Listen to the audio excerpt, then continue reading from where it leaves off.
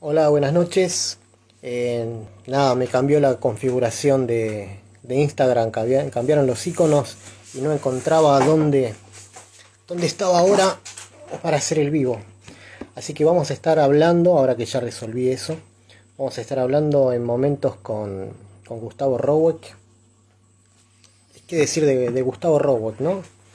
Miembro fundador de B8, de Rata Blanca, dos de las bandas más grandes del metal argentino y lati- latinoamericano, ni hablar de, de Nativo y de todo lo que siguió haciendo y todo lo que hace eh, ahora con Roweck y, y con las clases y, y con todos, ¿no?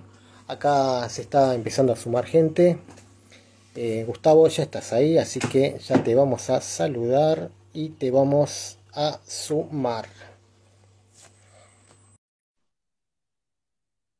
Gente amiga de Chile, Hey Hot, Let's Go Chile. Ya vamos a estar por ahí de nuevo, ¿eh? esperemos que se solucione todo esto y nos volvemos a encontrar.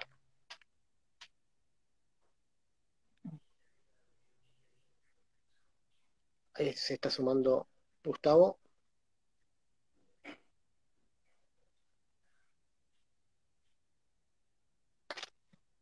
¿Quién más está por ahí?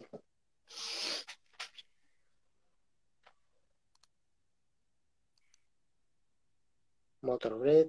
Siempre me fijo muy despacito los, los nombres para no meter la gamba, porque siempre hay algún pillo que quiere hacer que pisemos el palito y vamos a tratar de que, de que no lo logren. Sí, pero Bueno, ahí sigue la conexión tratando de... hace una cosa, ¿viste el, el coso que está detrás de la tele? Ponelo adelante, Gustavo. el modem que está detrás de la tele. Pero sin tocar nada.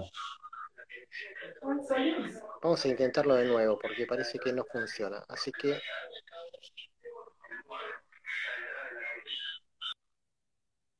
A Gustavo, si estás ahí, volvé a, a conectarte. Parece que está todo el mundo haciendo lo mismo. Estamos todos aburridos y estamos todos haciendo lo mismo. Gabriel Oliverio, desde Ecuador. A ver, Gustavo, sí, vamos a invitarlo.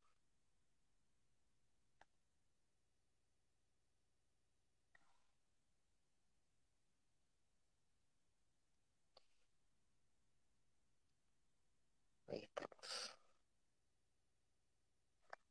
Vamos a ver si ahora funciona. Caverna Banda también está acá. Memo Ramones, de Chile. Hay un lugar multimedios. ¿Qué sale hoy? Pregunta Caverna Banda. Hoy sale. Ahí estamos. Ahora sí. Bueno, ya se enteraron todos que movimos el modem, todo, porque si no, no, no, no, no hay caso, ¿eh? Son un desastre las redes. Sabés que, viste que me cambiaron los iconos de lugar y siempre me aparecía la camarita arriba, desde donde me conectaba para hacer el vivo. Y ahora no la encontraba. Digo, la puta que lo parió. Y ahora, justo ahora me lo vienen a Justo cambiar. ahora me cambiaron el iconito. Justo ahora. Claro. ¿Qué ¿Cómo andamos? Bien, sé que estuviste, estás a full, veo que estás haciendo entrevistas, charlando con todo el mundo. Eso está buenísimo y hoy tuviste una maratón. Sí, sí, hoy estuve ahí, en realidad estoy haciendo un par de cosas este, con las clases también, laburando, y después, bueno, ya, ya quedamos acá, pero charlar con amigos siempre es muy agradable, así que acá estamos. Sí, eso es lo, que, lo que comentamos siempre, ¿no? Que esta es una excusa como no nos podemos encontrar de otro modo, encontramos acá para, para charlar. Esperemos que pronto ya vuelva el tema de, de los shows presenciales. Parece que se está empezando a armar primero con público muy reducido y con mesitas, y no sé si, si ponen jaulas también, pero parece que se está empezando a armar algo. Sí, lo que pasa es que todavía lo que se está armando es muy tímido y, y para algunas bandas va a funcionar, pero para otras no sé cómo va- se va a hacer, porque eh, yo no sé qué va a pasar con los costos del lugar, digamos, si, si el lugar se va a plegar a todo esto de que se puede meter una cierta cantidad de gente y que entonces no puede cobrar más lo que cobraba. Yo creo que, que no solo van a cobrar lo que cobraban, sino que van a cobrar más. Entonces, ahí hay un problemita que los números no dan. Porque es, justamente, justamente hablábamos eh, con, con, Daniela eso, ¿no? De que hay una, una banda que estaba haciendo un show con un determinado precio a la entrada. Muchos se quejaban de que era alto pero hay, hay gastos fijos en un show que si entra menos gente, tiene que subir el, precio de la entrada. No, no hay mucha vuelta, no, no hay mucha fantasía para, hacer ahí. No, no, esto es como la economía. Si, viste cuando te dice, si vos gastas más de lo que de cobrar, va a pérdida todos los meses. Esto es lo mismo. si, si, si el número de la gente no da para cubrir el número de lo que uno tiene de gastos, este, eh, está muy complicado. O sea, una banda normalmente, porque están todas todos los niveles, ¿no? Hay un nivel muy under donde cargas equipo y lo llevas al hombre y te cagas de risa. Eh, hay un nivel un poco más alto y así vamos subiendo una pirámide. Pero digamos una banda que sale con dos asistentes, un sonidista, un iluminador, el flete, la comida, tenés que estar hablando de, no sé, 20 lucas, fácil. Que el tipo sale de la sala y sale 20 lucas abajo. Entonces, está, está, está raro todo, ¿viste? Está muy raro. ¿Y cómo, cómo estás llevando esto? Bueno, yo sé que estás hace mucho tiempo con el tema de, las clases. Estuvimos hablando eh, con Sergio el otro día, más o menos nos contó algo. Eh, video que están ensayando también que hay una, una, banda, un tributo a Black Sabbath con un canal nuevo de, YouTube. Eh, YouTube, ya le, le, pifié el nombre mal. Eh, así que, ¿por qué no, no nos contás un, poquito de, la actualidad? Ya vamos a hablar de historia, pero contanos un poquito de la actualidad. Cuando empezó toda, toda esta locura, digamos, en ese momento, vos sabés que en 57 años que tengo, nunca en mi vida había dado clase en mi casa yo.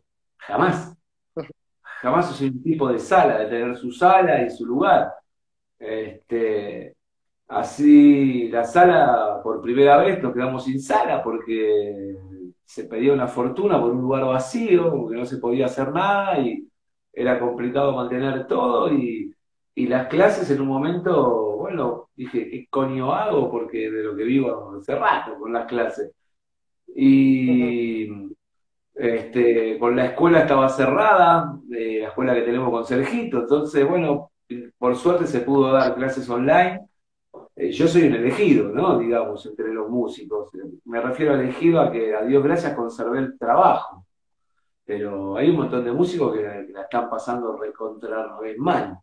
Y es como que nadie habla de esto, ¿viste?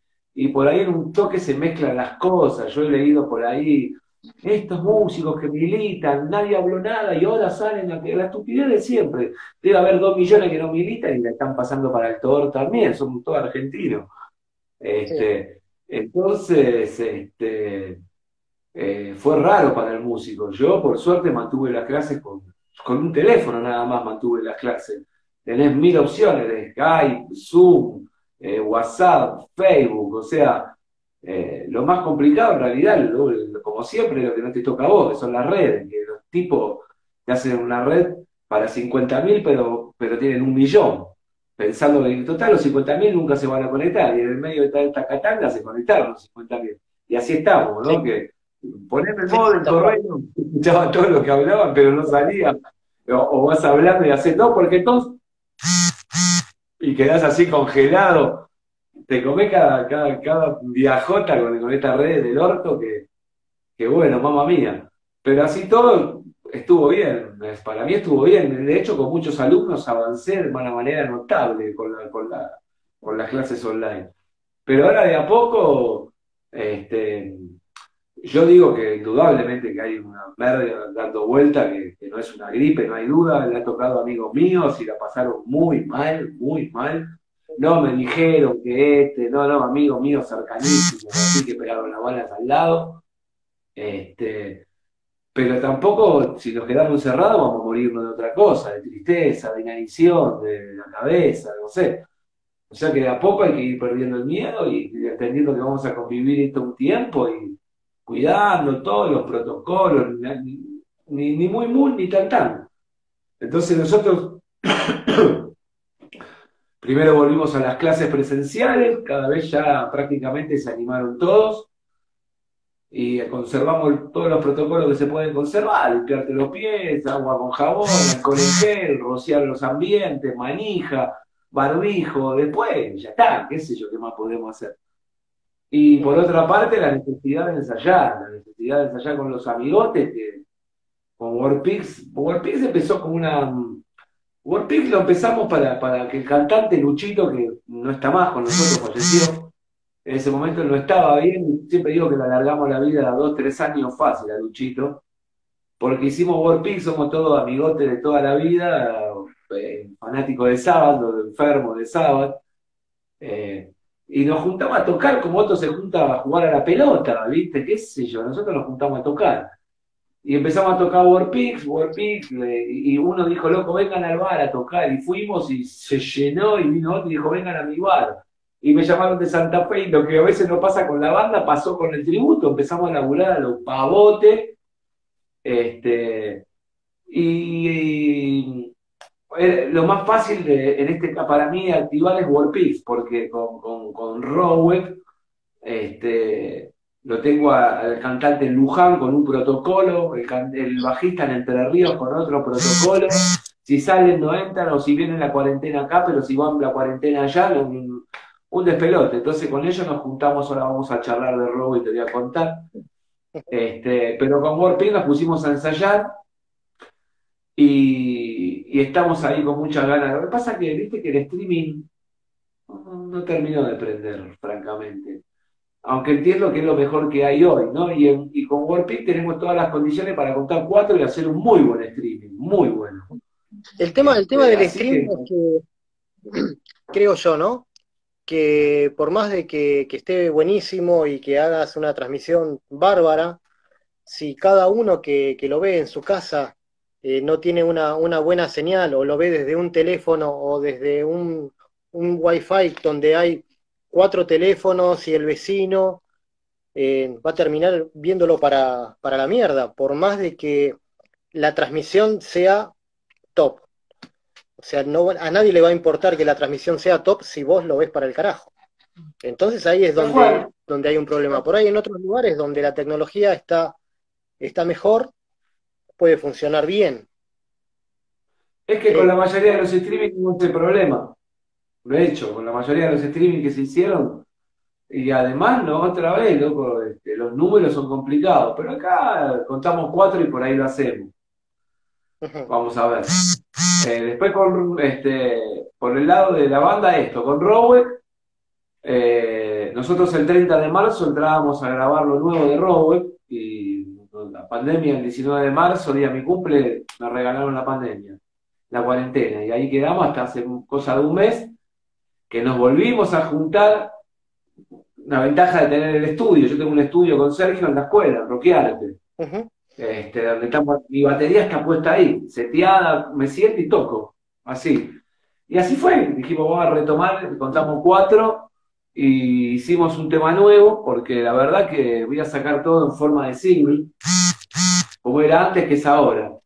Porque ya con redes me quedó la sensación de que tiré ocho canciones a la basura. O sea, redes me parece, por ahí está mal que lo diga yo, ¿no? Pero honestamente a mí me gusta mucho, entonces me parece un discazo.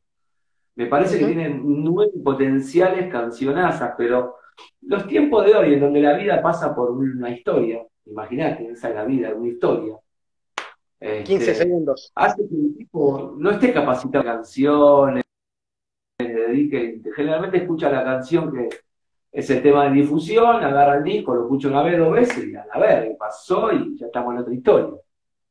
Entonces no, no estaba dispuesto a hacer lo mismo con este y hoy no tiene sentido, o sea, eh, creo que me va a ser mucho más fructífero este, hacer un single con un video apoyándolo, dos meses de difusión del single, que son los dos meses de difusión del disco, no cambia, y en dos meses saco el próximo tema y en dos meses sacaré el próximo, todos apoyados por su video, un video lyric y un video que no sea lyric para las plataformas que no pueden subir con letra.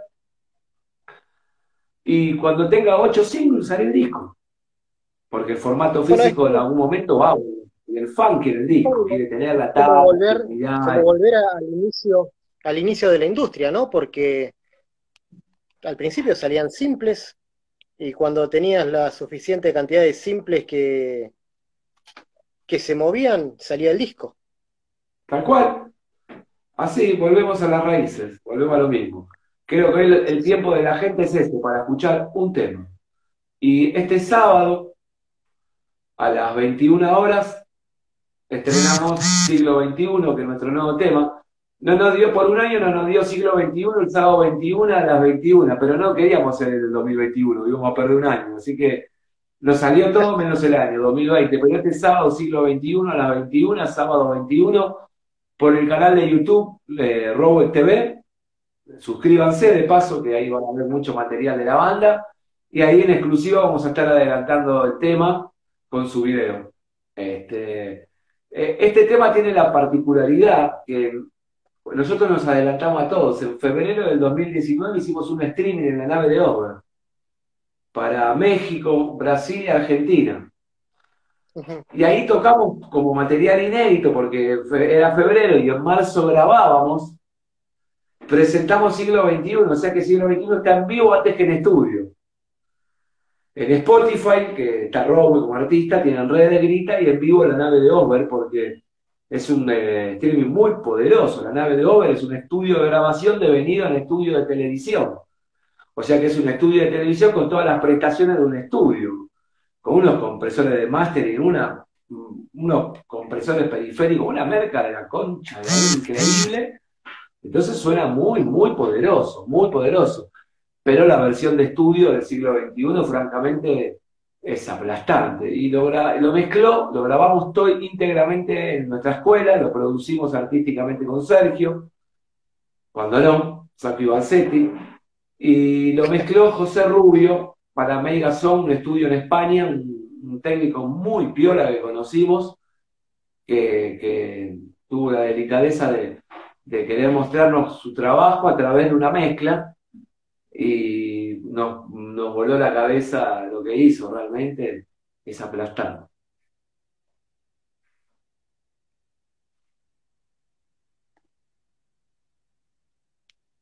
Ahí medio que se colgó un poquito.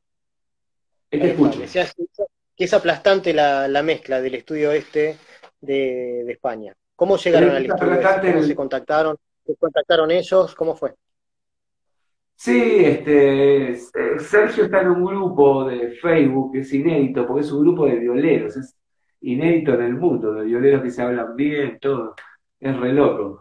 Es Live from Home 2020. Eso es complicado, ¿eh? Le digo, Sergio, vamos, aprendieron algo de los bateros, loco, va muy bien, así me gusta. Y este grupo está José Rubio, que además es guitarrista, y a través este, de, este, lugar el Sergio hizo el contacto con, José y eh, ya había escuchado material me había parecido alucinante de su estudio, y ahí fue que nos contactó y nos dijo que, que le interesaba mucho trabajar con nosotros como artista y que quería hacerlo no cobrándonos, sino mostrándonos su trabajo. Bueno, la verdad que como carta de presentación es alucinante. Bueno, buenísimo, buenísimo todo, todo lo, actual. Lo que me había quedado pensando era el tema este de, de la banda tributo, que de repente se abrieron más puertas que con la, con la banda de temas originales, ¿no? Que eso, eh, no sé si es raro, porque mucha gente quiere escuchar las canciones de, toda la vida. Entonces pasa eso. La otra vuelta, el año pasado, em, estaba en la, en la clínica de Billy Sheehan y le preguntaban cómo hacer, ¿no? Las bandas nuevas, qué hacer. Y el tipo lo que aconsejaba era primero empezar a tocar temas de otros. ¿No? Empiecen con lo que les gusta. la canción de las bandas, de, las bandas que más, empiecen con tributos. Y a partir de ahí generen cosas nuevas. Dicen, los Beatles empezaron tocando tributos, haciendo temas de otros. Los Rolling Stones también. Y decía, ¿qué más ejemplos puedo dar que Beatles y Rolling Stones? Y al mismo tiempo, hay, eh, al mismo tiempo hay como, como, un, como un desprecio hacia las bandas tributo. pero que es más mediático quizás, porque mucha gente lo quiere escuchar. ¿Y por qué no hacerlo? No, no, no sé cuál es el fenómeno, pero te puedo decir, yo como enfermo de los Beatles, te puedo contestar con esta respuesta. Eh, fui a ver a Paul cuando vino al Estadio Único de La Plata y Pablito, todo bien con los temas nuevos, dale, hace tema de los Beatles, por favor. Este, Eso contesta tu pregunta. Lo que pasa es que un músico siempre quiere mostrar lo nuevo, lo que está haciendo. Ahora, lo que pasó con el tributo, el tributo empezó como una banda de divertimento, o sea, el tributo era que nosotros nos juntábamos y nos gustaba tocar el material que nadie toca de sábado. La primera época de Ozzy, no tocamos de Dios, muy raro que toquemos. O sea, es prácticamente la primera época de Ozzy y por ahí decimos, vamos a sacar sabotaje, y sacamos todo sabotaje, sacamos más que, vamos a sacar Sabbath Bloody Sabbath. Entonces tenemos la banda, toca material que toca muy poca gente de los tributos. Después, no te puedo explicar por qué nos llamaron. Porque sí, porque la gente quiere escuchar, es esto que te, por lo, que presento un tema y no un disco, porque la gente zurrando, está muy chiquito, tiene tanta info que reconoce mucho más lo que ya conoce que lo nuevo. No quiere pensar, loco. Tipo, hoy eh, vive bajo una presión tal que no tiene tiempo para nada, loco. Las jornadas laborales cada vez más extensas y más chupadoras, la explotación, lo que cuesta llegar a fin de mes, el desgaste mental, la pandemia, eh, todo te Argentina te puede hacer un choclo así de lo que quiera, y el malote te vuela y no tenés cabeza para nada, entonces es mucho más fácil escuchar lo que ya está hecho que, lo que está por hacer. Creo que, es Aparte, casi ¿no? por eso no vas a dejar de hacer música. No, no, claro. Eh, te decía que casi toda la música te lleva a, sonidos eh, conocidos o, sonidos familiares.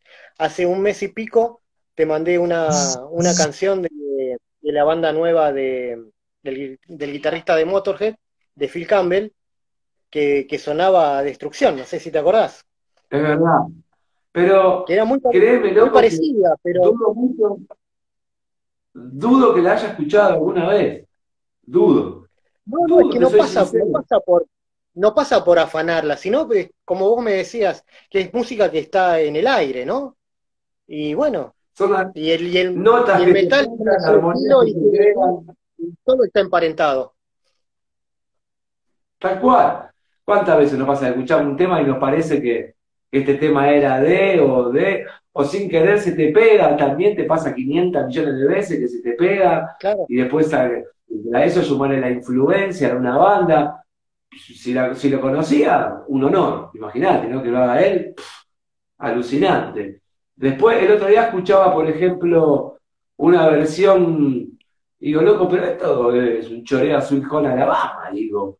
Y yo no sé inglés, ¿viste? Resulta que era una banda que es otro tema, pero que es como un homenaje a Sweet Home Alabama. De hecho, en un momento nombra la canción en el tema. Entonces, a veces por ahí uno cae en lugares como un homenaje, ¿viste? No creo en la buena fe del artista. No, no, no. A mí, a mí me tocó estar en, la grabación de, muchos discos y, productores que dicen, che, ¿por qué no probás con, con este acorde, con este riff en, los arreglos, ¿no? Y que por ahí viene de, de otra cosa, no es afanar, robar un tema de acá, otro de acá, sino usar algunas cositas. Pasa en la composición artística de, de un cuadro, de una película, que de repente hay una escena que es en homenaje a otra. Y, es como, como ponerle algo para que la gente encuentre y está bueno también eso. Absolutamente, parte de, de la etiqueta del artista, ¿no? Hitchcock, que aparecía en las películas, en cualquier personaje irrelevante, el tipo aparecía, Este, Hablando de aparecer, acá apareció Ricardo Puigros, el, el benemérito maestro mayor de efecto mental. Un grande Ricardito, un grande de efecto mental, además, una revista que, que aprecio porque es una revista que siempre apoya al músico a full. Acá hay, acá hay alguien que dice que hay un tema de violadores que se parece a Fear of the Dark. No me imagino cuál puede ser. Vamos a encontrar 800 lugares comunes. seguro. Miles, miles, miles. Olvídate que vamos a encontrar. Seguro, seguro. Puede ser todo lo que acabamos de decir. Influencia, homenaje, que se te pegan, eh, lugares comunes que, uno, que uno cae. Eh, yo hago melodías y los Beatles las tengo totalmente metidos acá en la cabeza cuando hago melodías. Y vayamos, Gustavo, vayamos al, comienzo, ¿no? De donde empezaban todas e-, esas melodías eh, en tus inicios en, la música. Contanos un poquito cómo, cómo fue eso. Y bueno, eh, siempre cuento lo mismo. Yo, yo en mi casa crezco con música. Mi viejo era un melómano, mi viejo, mi viejo un tipo muy artístico, un tipo que después laburó con, muchos años con Rata Blanca, que nos hacía todas las puestas en escena de los teatros, porque él era el, director de iluminación y sonido de los telones. Eh, los telones, eh, toda la parte artística de la rata, la puesta en escena era de mi viejo las luces con las calles laterales con el humo, eh, eh, los telones a contraluz, eh, unas puestas en escenas alucinantes. Ah, ah, llegamos a hacer un show con un castillo gigante que en el teatro daban la Cenicienta. Y mi viejo no sé cómo hizo, logró sacar el castillo corpóreo. Así. ¿Me estás escuchando, Necesito?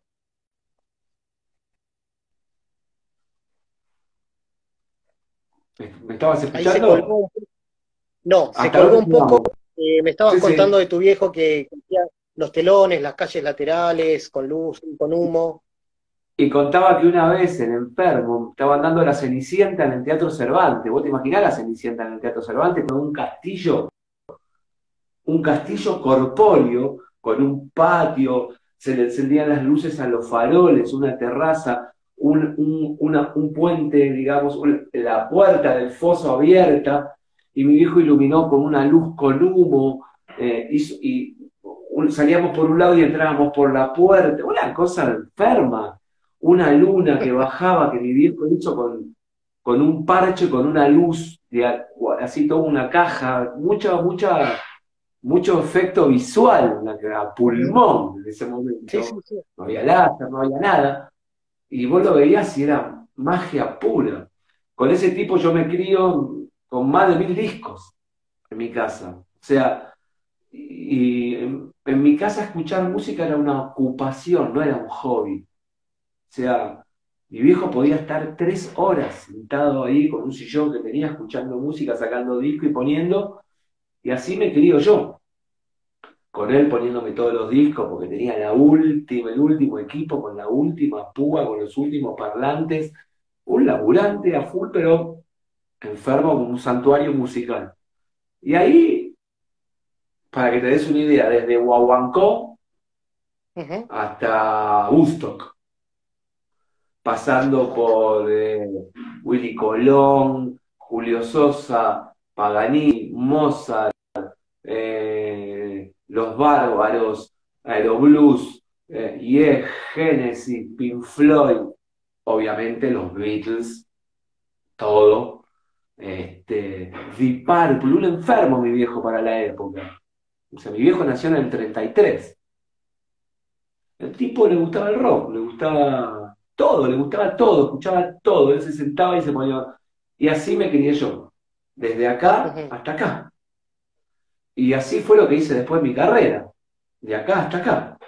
Este, y eso es lo que me permite también producir artísticamente bandas que no son de metal solamente, porque tengo muy claros los colores de, un montón de estilos.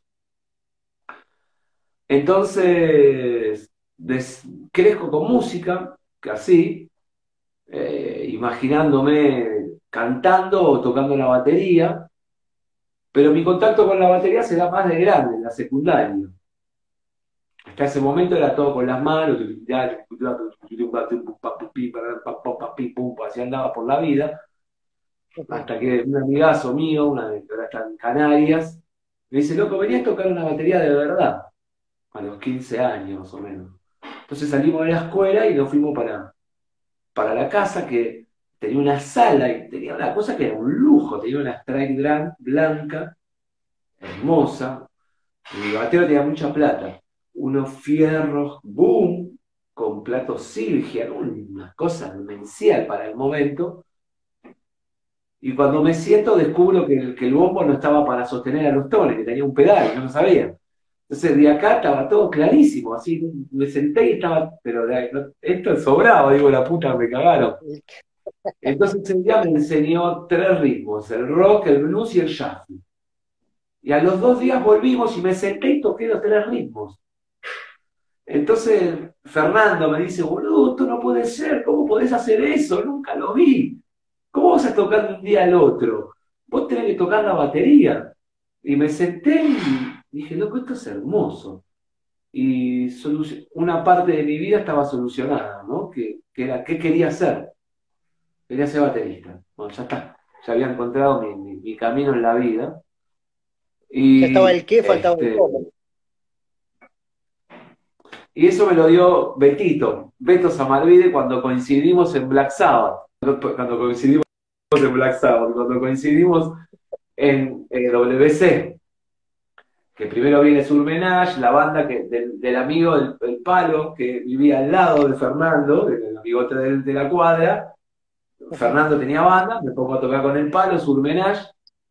Y viene un, alguien que a lo mejor habrás escuchado hablar, que es Julio Morano es un altado, un tipo que en la vida le tocó no ser la estrella, sino ser el formador de los músicos que iban a marcar en gran medida un, impulso importante en la historia del rock. Julio Morano, un adelantado, un tipo que, que ya laburaba con tiempos compuestos, una banda WC era muy Rush, y una mezcla de Rush y Sabbath. Y Julio me ve pendejo, a los 16, muy potencial, y me agarra y me dice, vení para acá. Y es uno de mis grandes formadores del camino. Grandes, grandes formadores del camino, Julito. Me enseña mucho, mucho, mucho. El otro sin duda es Walter. Este, y, y ahí coincidimos con Beto. Y yo era fanático del rock progresivo. Fanático. Yo era fanático de Rush, de Yes, de King Crimson, del Genesis de A Trick of the Tale, o Veneno Inglaterra por una libra, del Emerson Lake Partner de Tarkus, este, de Franz Zappa. Y viene Beto y dice, ¿qué hace, David, Nanito? ¿Por qué no escuchas esto? Y me pone en mis manos sabotaje. Ahí fue el cómo. Dije, listo. No solamente quiero ser baterista, quiero ser un baterista pesado y, la banda que me, me, forma es Sabbath. Por eso cuando hicimos Warpig yo me senté y toqué, no tuve ni que ensayar. Vamos a tocar este tema. Aprendí yo. Eh, aprendí poniendo lo que decía este Sheehan, poniendo los discos y tocando encima. O poniendo la Rainbow, eran mis dos referencias obligadas. Rainbow on Stage, Sabbath Sabotaje, y, empiezo a descubrir Sabbath Bloody Sabbath, volumen 4, toda la historia. Este, y ahí no paró más. Dos años de WC que fueron de un aprendizaje gigante, gigante, y coincidimos en el famoso recital de, Chacarita, ¿no? Donde coincide WC con Beto y yo, B8, con Ricardo anunciando en ese momento el último show de B8, que era una banda de otras, como tantas que venían ahí dando vuelta, porque el violero Chofa tenía mucho asma y el batero se iba a España, pesadilla, y Osvaldito estaba de público. Después creo que ya la historia es conocida, ¿no? Eh, una semana después de ese show, eh, nosotros ya éramos amigos de los 8 porque ensayábamos en la misma sala y Betty y yo nos cruzábamos cada dos por tres a la, sala de B8. Porque ya en WC no estaba todo tan bien, estaba medio raro. Y después de ese recital hicimos otro a la otra semana, otra vez de 8 y WC, y a la otra semana ya nos cruzamos de, sala y queda formado B8. El resto, bueno, historia conocida, ¿no? El resto, el resto ya, ya, está. Y después, bueno, después una, banda enorme para, la historia del, del, metal argentino, importantísima, que, que influenció a tantos. Y después Rata Blanca, que es también otra banda enorme. Poca, poca gente toca en dos bandas enormes. Mirá, orgullo puro y eh, sentir que no fue en vano todo lo que uno hizo, sobre todo, ¿no? Porque mm, B8 es terrible, la influencia de B8 hasta el día de hoy, ¿no es cierto? No hace falta ni que la hablemos nosotros. Este, pero después Rata Blanca, Rata Blanca supera todo lo, imaginable. Lo loco de, Rata Blanca, que puede sonar mesiánico hoy, ¿no? Pero cuando hicimos Rata Blanca con Walter, eh, eh, pasó lo mismo que WC, se cumplió un ciclo con B8, ya no estaba todo tan bien. Eh, yo estaba muy copado con el metal clásico y empezaba a aparecer la vertiente trash metal clásico. Yo era fanático de la música clásica y me costaba encontrar en esa época, era todo talibán, así. Y a mí me gustaba mucho la música clásica. Y soñaba con, esa mezcla. Entonces, cuando conozco a Walter, digo, ¿de dónde sale este extraterrestre? ¿Quién es este pibe? Que Walter me lo presenta un amigazo de la vida, de un hermano del camino que ya falleció, que es Kiki. Él me decía, yo te voy a presentar un violero de cuando lo veas, boludo, no la vas a poder querer. Y así fue. Y Walter flashea conmigo también. Eh, de hecho, hay un intento, cuando B8 vuelve, la gente, yo no coincidí con en B8 con Walter. Esto por ahí aclararlo, porque mucha gente... Tocó muy, poquito Walter en B8. Muy poquito y fue en el lapso que yo no estaba. Claro. Sí es cierto que los B8 me vinieron a buscar para volver a tocar. Pero yo estaba bastante enojado por lo que había pasado en Brasil en ese momento, hoy es historia superadísima, ¿no? Y pero quería tocar con Walter. Entonces, en ese momento eh, hubo ahí un sí, un no, pero como yo estaba armando orcas con Osvaldo, eh, finalmente les dije no porque Osvaldo se puso del orto. Entonces hablamos con Walter y dijimos, loco, no importa, va a ser en otro momento, va a venir y esto habrá sido en septiembre, y en octubre, en octubre, y en noviembre, diciembre, Walter me llamó y me dice, loco, ¿por qué no va a hacer la pata? Yo tengo cuatro temas que no tienen nada que ver con B8. Vamos ¿Me ayudás a grabar un demo porque lo voy a mandar afuera? Sí, boludo, no te voy a ayudar. Así nos sacamos la gana de tocar, sí, obvio. Y ahí hicimos Chico Callejero, Rompe el Hechizo, Gente del Sur y un tema que nunca salió, que es La Bruja Blanca. Entonces, cuando terminamos y escuchamos el material, nos fuimos caminando, sacados, los dos re locos, y caminando, playado con lo que escuchamos. Y nos sentamos en una plaza, paramos, y dijimos, loco, esto, esto es alucinante, esto no, no suena de acá, esto suena de una banda de afuera. Vamos una vez más con una banda. Y dale, vamos. Y nacía Rata Blanca, ahí nacía Rata Blanca. Pero Rata Blanca la hicimos con una convicción casi mesiánica, la hicimos para que sea la banda más grande de la Argentina. O sea, nosotros nos miramos y dijimos, vamos a ser la banda más grande de la Argentina. Y es absolutamente entre comillas lo de más grande, ¿no? Porque hay, por favor, ¿no? Es una falta de respeto a tanta banda gigante que hubo. Pero realmente eh, Rata Blanca le toca ocupar un sitial de, importante, en el top 5, vamos a ponerla en el top 5. pero dentro, dentro del género es sin duda, no solo por, eh, por éxito, venta de discos, convocatoria, trayectoria, cantidad de años que está arriba, una de las más grandes. Después ya poner el número, 1, 2, 3 ya no importa, eso ya no, no importa. Pero que eso es indiscutible. De tantos años. Nadie puede decir nada. Absolutamente. Por eso te digo, este, realmente eh, armamos una banda con, esa locura de que iba a ser así nos tomamos dos años sin salir a tocar. Dos años ensayando, guardaditos, hasta que teníamos un show que era imponente, más esto que yo le digo a Walter de, loco, yo, yo me crié en el Teatro Cervantes. Si yo no hubiese sido músico, hubiese sido actor. Se actuaba en el escenario de Cervantes, me conocían todos, lo conocía como la palma de mi mano el teatro.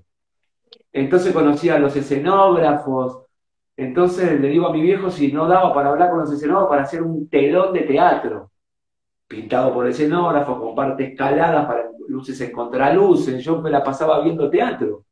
Iba a ver todas las obras habidas y por haber al teatro, que para mí era mi divertimento, iba a ver a mi viejo. Muy cumpa de mi viejo, ¿viste? Este, entonces, mm, mando a hacer con Walter los telones a, venimos al teatro con los escenógrafos y armamos un show que no, no, no, no, no existía. Lo cierto es que no existía. Teatro, butaca, eh, el heavy metal venía no, no, no, no. De una sociedad de fomento y, eso, y armar con cajones de cerveza y tablones el escenario. De eso, pasar a un teatro con escenografía y algo presentado como, como las bandas de afuera, como los que, como lo que todos querían ver y que veían de bandas afuera, pero cuando lo ven acá dicen, ¿qué pasa? Es como, es, un choque, también se puede hacer, y entonces ahí empiezan otras cosas, ¿no? Y aparte de las giras, eh, las giras eh, europeas, hace un rato, un rato. hablamos, con Mundi, y nos contaba de, de, la gira y el DVD por España. España mágico. La Rata en dos shows sale banda revelaciones muy rápido del golpe. Indudablemente, Magos y Espadas es un antes y un después, ¿no? Ya. Pero después, bueno, viene la gira nacional, primero la gira provincial, la gira nacional, la gira latinoamericana y la gira mundial. Llegamos a estar cinco meses de gira nosotros, o sea, una locura. Una locura. Este, y sí, la verdad que la rata es muy grande en todo el mundo. Esa es la verdad. Y estás en, Rata hasta el 98. En Rata estoy hasta el 98. Sí, sí, hasta, el 98. Eh, es una larga historia, ¿no? Eh, pero obviamente que priva mucho más todo lo lindo y bueno que fue que lo malo que también existió. Este, pero yo sentía que mi ciclo estaba cumplido en Rata. Eh, necesitaba imperiosamente volver a tener la dirección de una banda. Este, sobre todo por un tema compositivo, que yo había compuesto los dos discos de 8 con los chicos y, en Rata Blanca los tres primeros discos no se había podido componer y después todo era muy hablado y, y muy censurado y muy pasado por un filtro que entiendo claramente que con ese modelo habíamos sido muy exitosos, pero para mí ya era muy desgastante. Después de, disco de oro, platino, doble platino, triple platino, cuádruple platino, gira nacionales, gira latinoamericana, gira mundiales, listo, necesitaba darle lugar a mi, a mi, lugar de músico. Y como un caballero esperé que se cumpla el contrato. Y ahí nos dimos la mano y nos fuimos con Sergio con la musiquita otra parte. Y ahí se nativo. Y el que escuche nativo se va a dar cuenta enseguida porque no fuimos de Rata Blanca. Claro, bueno, había, había un sonido, otro sonido. Otro sonido por ahí más. No sé si decirle más, más actual, porque es, no sé, no me, no me gusta esas, esas definiciones, pero había otro sonido, otra, otra búsqueda. Sí, absoluto. Y la verdad que, eh, lo digo yo, era más actual el sonido. Sí. Eh, absolutamente mucho más actual, pero no porque con Sergio nos juntamos y dijimos, ahora vamos a hacer algo más actual. Porque es lo que nos sale. Surge naturalmente. Eh, perdóname, se cortó, Andresito. No, te digo que eso surge naturalmente, porque no, no, no es una planilla decir, bueno, a ver, ahora hago esto, lo otro. Tal cual. Así fue. es lo que nos salió y salió una música bastante adelantada a su momento. Eh, yo hoy ponés consumo y, y decís, ah, ¿cuándo tocan? ¿Qué banda es? O sea, es de ahora. Es rock matemático, como lo que está surgiendo ahora. Eh, sí, sí, sí, aunque te parezca mentira, ahí está toda esa influencia de la que yo te hablaba cuando empezamos a hablar. Quien escuche Yes, quien escuche Crimson, quien escuche el Emerson, va a escuchar mucho lugar común con nativos de consumo. Muchísimo, muchísimo. Con Rush, más Alice in Chains, más Fight No More, que son las bandas de ese momento que, hicieron un poco el click musical con lo que venía sucediendo en Rata. Nativo para mí fue una banda brillante, al punto tal que hoy me hablan más de Nativo que cuando estaba en Nativo, lo, mismo de B8. Este, pasa, pasa, pasa. Están todos con nativo, nativo, nativo, cuando se juntan nativo, nativo. Este, ahora estamos por. ¿Y por qué no viniste cuando estaba? en Spotify. Ajá. Ya lo está subiendo. Para hacerlo tenemos de juntarnos los cuatro miembros originales y hacer un tema nuevo. Porque eh, eh, seguimos teniendo una relación increíble con Caduchita y con, Javier Tumiri. Este, Nos seguimos hablando todo el tiempo, siempre quedó ahí. Esa, Nativo cumplió un ciclo, es la única banda que, que se parece sin querer. Ya había hecho cuatro discos, ya había hecho hardcore, rock pop, funk, eh, eh, alternativo, o sea, eh, muy, muy el espectro ese que te dije, de acá hasta acá. El nativo fue donde yo dije, me voy a sacar las ganas y todo lo que escuché lo voy a aplicar. hay un tema con percusión con Andrea Álvarez y con Talarita en la trompeta. O sea, hice lo que se me cantó musicalmente, me, desaté absolutamente, me liberé por completo de cualquier prejuicio. Dije, quiero ser libre, loco, musicalmente. Venía loco de un corte muy, muy fuerte en rata y quería romper con eso. Y Nativo son 12 años, 12 discos. La, de Miguel se me, se me había escapado, pero Talarita estuvo con todos. Sí, monstruos, absolutamente. En un momento mirabas y si no lo veías a Talarita no era tema, no había trompetista. claro, claro, claro, casi, casi. La adiós, bueno, ¿no? Adiós. Un adiós. Te decía, bueno, llegamos ahí hasta, hasta, hasta Nativo. ¿Cómo seguimos? Sí, vos. con Nativo, en ese interín eh, Mario, Marito Ian, un gran, gran amigo mío de, la historia del camino, un referentazo del heavy argentino y un artista del carajo, este, viene a nuestro estudio, el que tenemos con Sergio, y nos, dice que tenía unas canciones que quería que coproduzcamos artísticamente. Me interesaba mucho que tenía que presentar a un sello y que si al sello le gustaba, eh, se hacía la grabación. Hacemos las dos canciones, este, que era Latinoamérica y el, Tiempo de Redención. Este, y efectivamente gusta mucho. Y cuando se va a hacer el disco, Mario nos dice que coproducir artísticamente todo el disco. Nosotros habíamos confluido con Mario en Entre el cielo y el infierno. Ya habíamos compuesto la mitad de ese disco juntos, con el negrito también. Entonces llegamos a la conclusión de que para coproducir era mucho más fácil tocar, que sabíamos exactamente qué queríamos, que buscar músicos, explicarle qué queríamos. Entonces nos juntamos, contamos cuatro y tocamos el disco. Y lo que le dijimos que iba a ser una, le hacíamos la pata Terminó siendo cinco años, dos discos, ya el otro lo compusimos todos juntos y una muy buena repercusión, muy buena, muy, muy buena. Este, eh, en el medio surge el tributo a B8. Sí. Que me encantó la propuesta de, de este, reversionar los temas en un concepto más modernoso, con músicos que hayan tenido un sonido más actual. con referentes, claro, un sonido más actual, con otro, con otro punch, con otra tocata. Y así este, se convoca al Tanito Romano, nada más y nada menos, a, a Walter Mesa y al Topito Yáñez, este, un Dream Team. Y lo que también Pero aparte iba a ser un cosa. show.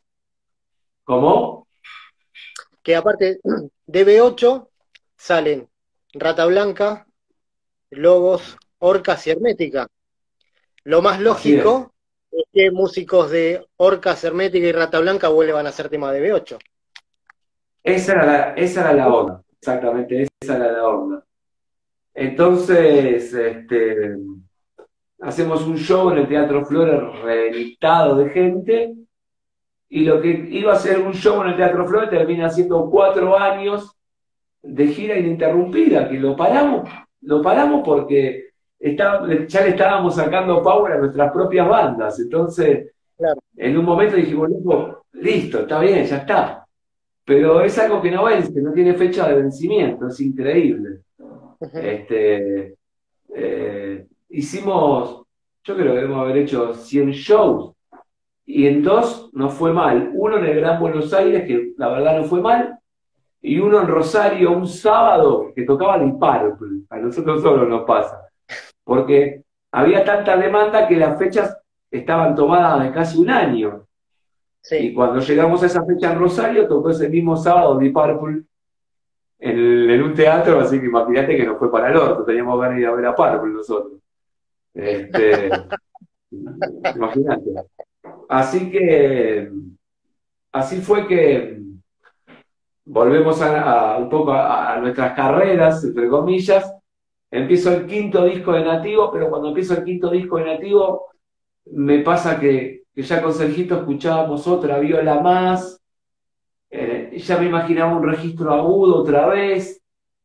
Entonces, un poco la música de Creta el fin de Nativo, no lo humano. Lo humano no hubiese separado nunca Nativo, porque lo llevábamos tan súper bien, súper. Pero estaba el camino hecho con Nativo, había una, ya te digo, 12 años, cuatro discos, estaba bien. Y lo que iba a ser el quinto disco es el primer disco de Rowell con dos violas, una voz aguda. Y hasta el día de hoy es Rowe y estoy feliz. Feliz porque es una banda donde me puedo explayar muy bien, donde puedo eh, volcar todo lo que siento que tiene que ser como una dirección, que es de todos, no es de uno. O sea, yo de, no puede haber una banda sin liderazgo. No puede. No, No, puede, no, porque alguien siempre tiene que haber tiene que marcar el rumbo. Claro, y no puede haber dos. Cuando hay dos, imagínate un barco con dos capitanes, uno diciendo uno a babor y el otro diciendo a estribor. A No, no, no funciona. No funciona. Pero Lo que no hay que confundir con liderazgo es que ser líder no es ser tirano. La función del líder, esta es mi humilde versión de lo que es un liderazgo, ¿estamos de claro? Cada uno con su Sí, verdad, totalmente de acuerdo. Pero para mí el líder es el que dice por ahí, mira, escuché a todos y vamos a hacer lo que dice él. No tiene que ser escuché a todos, vamos a hacer lo que digo yo. O sea, vamos a hacer lo que digo yo. Lo que digo yo es que la razón la tiene él. Que de todo lo que escuché, lo más acertado es lo que él propone. Eso para mí es un liderazgo. O sea, cuando eh, se potencia, cuando todo se potencia. O sea, soy de, la idea de que los equipos de trabajo, cada uno se tiene que sentir imprescindible en su lugar. Que no tiene por qué ser la del capitán. Hay un arquero, hay un defensor, hay un mediocampista, hay delanteros. Eh, son todos importantes e imprescindibles. Eh, eso es lo que creo que tiene que suceder en una banda y eso es lo que sucede en Rower. O sea, entonces me gusta la, la química que hay, cómo fluye. Este tema que estamos presentando este sábado este, es un tema hecho por todos. De hecho, es, el- Ujú. es la primera vez, eh, porque hasta ahora los temas los presentábamos con Sergio y, y se tocaba cada uno con su impronta. Este tema surgió íntegro en la sala con el aporte de todos. Y es lo que más me gusta. Y no me pasaba desde el 8 Esto de tener química como para componer. Como las letras, que muchas letras las compongo con Nico. Y hay otras que compone Nico, y hay otras que compongo yo. Pero tampoco quería ser el único letrista. No me gusta, porque cuando siento que cuando hay un solo letrista, pasa lo mismo de siempre, se empiezan a caer en lugares comunes, frases comunes, por más que hable de Dios o de una puta. O sea, eh, en la variedad está el gusto, ¿no? Y enriquece. Total, totalmente de, acuerdo. Y algo que se había hablado, que, había surgido, ¿te acordás cuando, cuando estuvo Beto acá cuando hizo el último show? Que nos encontramos unos días después en mi, en mi estudio para hacer unas fotos. Y yo me acuerdo que les dije, miren que vamos a estar transmitiendo en vivo, cuidado con lo que dicen. y surgió que iban a, grabar un disco, y le dije, che, mirá que estamos en vivo, ¿eh? Sí, sí, sí. Y bueno, eso, eso quedó. Es más, me acuerdo, me acuerdo escuchá, escuchá esta. Me llama esa noche cuando vuelvo acá, eh, me llama Pocho Metálica, me dice, Andresito, ¿qué hiciste? Le digo, yo no hice nada, decile, decile a tus artistas que ellos hablaron, yo no dije nada, a mí no me metas en el medio. Y quedó toda, la gente manija, ¿no? De, que estuvieran, de que volvieran al estudio ustedes dos. Porque ese show en, eh, en ¿dónde era que fue? En Uniclub, estuvo buenísimo. Nunca vi tanta, tanto metalero llorando. La verdad que sí, la verdad que fue increíble. Ya habíamos coincidido también en el XLR de San Miguel la vez pasada. Y estaba, está ahí. hoy la posibilidad está mucho más fuerte que después de ese momento. Cuando lo dijimos era porque estaba la absoluta convicción de hacerlo, pero inmediatamente empezó la crisis del dólar. Ajá. Automáticamente el dólar sufrió dos, dos, casos que se fue al doble. Entonces empezó a complicar la logística de traer a Beto. Y después se empezó a complicar mucho más la Argentina y después vino la pandemia pero hace muy poco hablé con Beto, hace, hablo con Beto todo el tiempo, tengo una relación bárbara con Betito. Y decíamos esto, las ganas que tenemos de, hacer finalmente ese material, y va, va, a venir, ¿eh? Va a venir. Lo que no vamos a hacer es no decirlo. Entonces cuando lo tengamos vamos a hacer al revés. Primero, primero vamos a tener la jaula y ahí vamos a cazar pajarito. No vamos a cazar pajarito y no tenemos la jaula.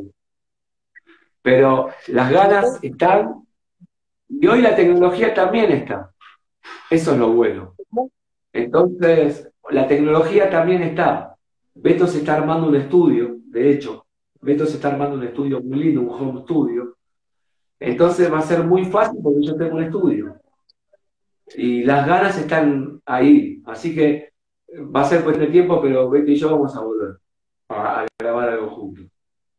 Me encantó, me encantó eso. Bueno, entonces resta por repetir la, invitación para escuchar eh, la nueva canción, decinos dónde, decinos todas las redes. Eh, la gente que nos escucha, que nos está viendo ya sabe, pero siempre hay gente nueva a la que hay que, incorporar. Sábado 21, a las 21 horas este sábado, el estreno del siglo XXI, nuestro nuevo tema, eh, lo pueden ver en el canal de YouTube, en Robot TV. Lo vamos a transmitir ahí de manera estelar, así que suscríbanse. Y después va a estar en todas las plataformas digitales, pero primero para nuestro fan quería que salga con el video en nuestro canal de YouTube, que es Robot TV. Perfecto. Eh, Gustavo, quiero agradecerte por esta charla. Sé que hoy tuviste un día bravísimo y, y bueno, son las 11 de la noche, ya es hora de, de cenar y descansar para tener otro día bravo mañana de nuevo. Sí, pero muy contento, Andrés, de estar acá hablando con vos. Eh, un tipo puta, ¿no? También otro referente. Cierro los ojos y, si le recuerdo alguna fecha, te recuerdo a vos sacando fotos. O sea, este, bien merecido el lugar que tenés eh, en la historia también, eh, La verdad que es un placer estar charlando con vos y a través tuyo con toda la gente. Así que ahora comemos también. Muchas gracias. Esto va a estar también en mi canal de, YouTube, que es muy chiquito todavía, pero que va a ir creciendo, que es Andrés Violante. O sea, me maté con el nombre también. Así que nos estamos viendo por todos lados y esperemos eh, cruzarnos pronto. Te mando un fuerte abrazo, Gustavo. Igualmente, ¿eh? La mejor, chabón. Nos vemos.